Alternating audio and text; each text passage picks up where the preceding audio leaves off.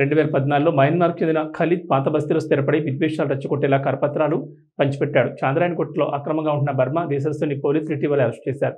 అతని అసలు పేరు ఫైజల్ ఇస్లాం మరియు నగరానికి చేరుకున్న తర్వాత అతని తన పేరును సయ్యదుల్ హసన్గా మార్చుకున్నాడు. ఏజెంట్లకు డబ్బులు చెల్లించి ఓటరు ఆధార్ పాన్ కార్డులు పొంది బ్యాంక్ ఖాతా తెరిచాడు. డ్రైవింగ్ లైసెన్స్ పొంది ద్విచక్ర వాహనం కొనుగోలు చేశాడు. ఈ గుర్తింపు కార్డులతో పాస్పోర్ట్ పొందాడు. జడ్డాలో పనిచేసి తిరిగి వచ్చాడు. నిందితుడి ఇంటి తనిఖీలు సోదరుడు యూసఫ్ పేరుతో ఆధార్ పాన్ ఓటర్ కార్డులు బయటపడ్డాయి. ప్రస్తుతం యూసఫ్ పరారీలో ఉన్నాడు. ఇవి ఉదాహరణలు మాత్రమే. నగరంలో ఆరు వేల మంది రోహింగ్యా శరణార్థులు ఉన్నారు.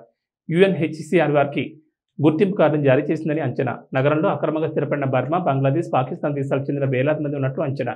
ఢిల్లీ కర్ణాటక తమిళనాడు తదితర ప్రాంతాల నుంచి వలస వచ్చి శివారు ప్రాంతాల్లో స్థిరపడ్డారు. మీ సేవా కేంద్రాల నిర్వాహకులు ఏజెంట్ల సహకారంతో ముందుగా ఓటర్ కార్డులను కొనుగోలు చేస్తున్నారు. వారితో ఆధార్ డ్రైవింగ్ లైసెన్స్ పొందుతున్నారు.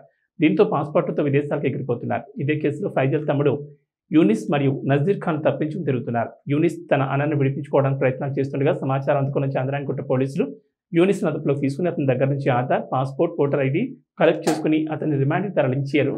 నజీర్ పరారీలో ఉన్నాడు.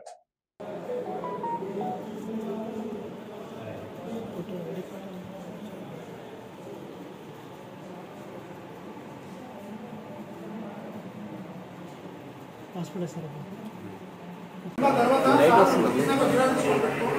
इलाइट भी